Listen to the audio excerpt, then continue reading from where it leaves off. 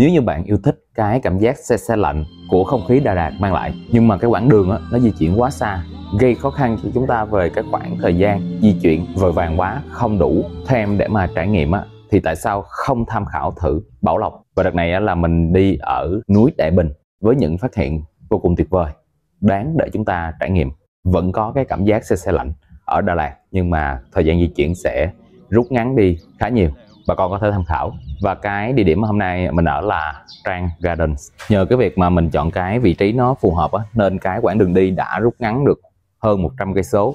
Nếu tính cả đi lẫn về thì đã giảm được hơn 200 cây. Thời gian di chuyển ít hơn nên sẽ ít mệt hơn và cũng có nhiều thời gian hơn để trải nghiệm một cái vị trí nó đầy đủ. hơn. Mà spa hồ bơi cà phê ư chi là đầy đủ này nọ và không thiếu thứ gì đâu nha một điểm mà trước khi đi bà con nên lưu ý là chúng ta nên liên hệ trực tiếp với chủ homestay. Vì cái đoạn đường đến núi Đại Bình thì chúng ta còn có thể di chuyển bằng ô tô được. Nhưng mà khi từ chân núi lên trên cái homestay ở trên núi á, thì sẽ rất là khó để di chuyển vì đường núi khá là cao và dốc. Nên chúng ta nên liên hệ trực tiếp với chủ homestay để được hỗ trợ. Có nghĩa là khi đó chúng ta đến và chúng ta liên hệ thì họ sẽ có một cái xe trung chuyển để mà hỗ trợ cái việc mà chở chúng ta và hành lý lên trên núi. Chứ nếu mà chúng ta tự chạy ô tô lên đó thì không quen sẽ rất là nguy hiểm nha. Cái điểm này là chúng ta bắt buộc phải lưu ý. Không cố gắng mà tự di chuyển lên, để có gì nó sẽ xảy ra cái chuyện không vui.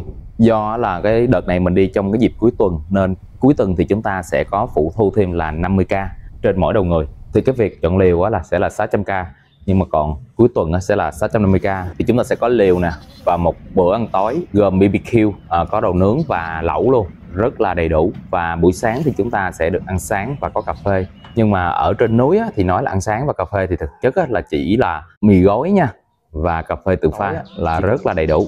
Và cái giá này mình thấy hợp lý hơn rất nhiều so với cái việc lần mà mình đi Hầu Cốc. Đây có cái nắp không? Nhưng mà chung với cái má đó. Có ở Vũng Tàu thì cái đợt đó bên đó báo giá đâu đó khoảng ờ, 600 610k gì đó là chỉ bao liều thôi còn lại là không có cái, cái dịch vụ gì kèm theo. Mình thấy dường như là bị ngáo giá vậy đó. Thì uh, khi đó là mình quyết định không ở Hồng Cốc mình mình về trực tiếp luôn ở trung tâm thành phố Vũng Tàu á.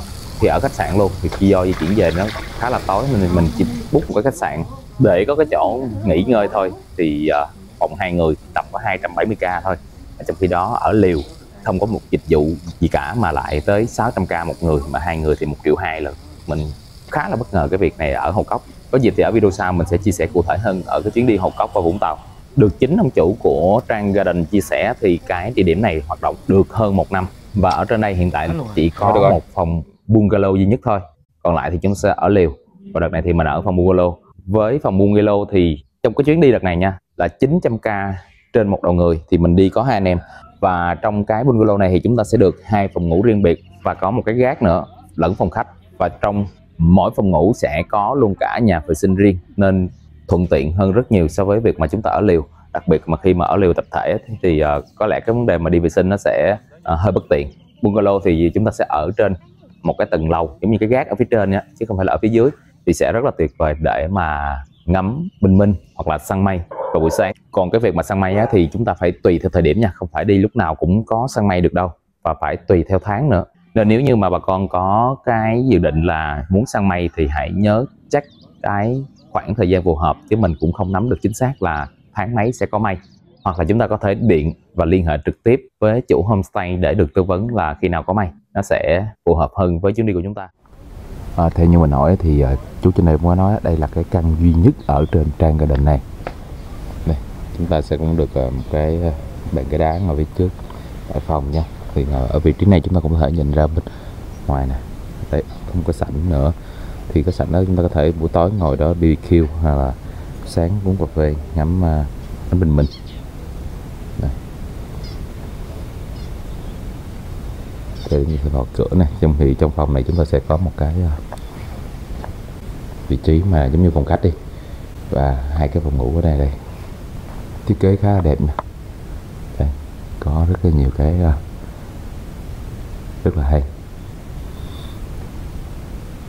Và ở trong phòng này thế này đây. Chúng ta sẽ có luôn cả nhà vệ sinh bên trong phòng và nhà vệ sinh bên trong luôn.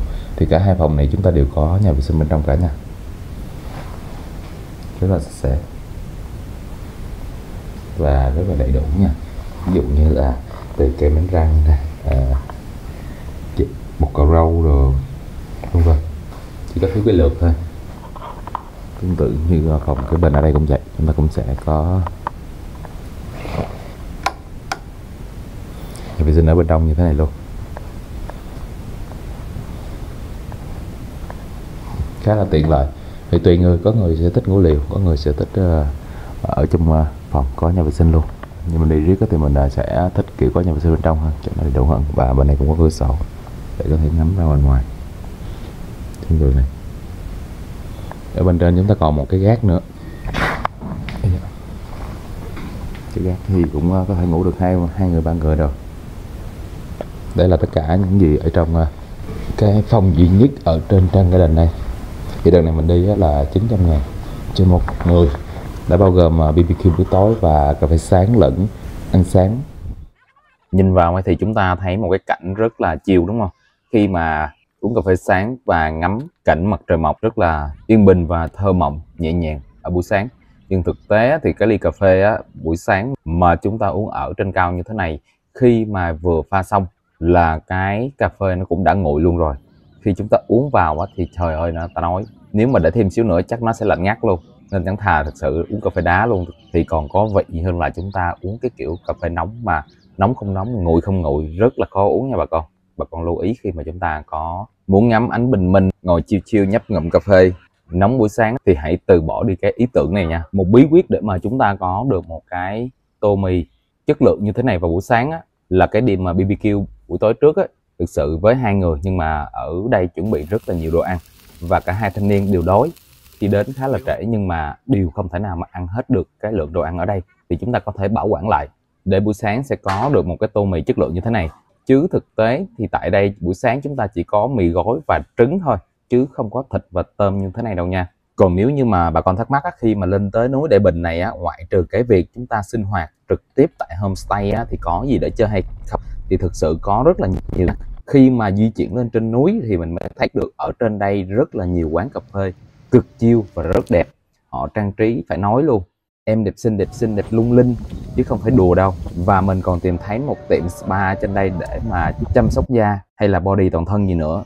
Và khi đến buổi tối á, chúng ta nhìn lên núi á, thực sự với các quán hàng xá sẽ nhìn lên một ngọn núi rực rỡ ánh đèn và đứng ở từ trên cao này nhìn xuống một thành phố Bảo Lộc về đêm rất là đẹp. Thì nếu như ai mà có cái khoảng thời gian hạn hẹp á, chỉ nghỉ được thứ bảy hoặc chủ nhật cuối tuần mà muốn đi tìm một cái không gian mát mẻ kiểu như Đà Lạt thì có thể tham khảo núi Đại Bình ở Bảo Lộc này. Theo như cá nhân mình thì đây sẽ là một cái địa điểm phù hợp cho gia đình hoặc là một nhóm bạn đi với nhau nhưng mà không có nhiều thời gian để mà trải nghiệm đầy đủ á.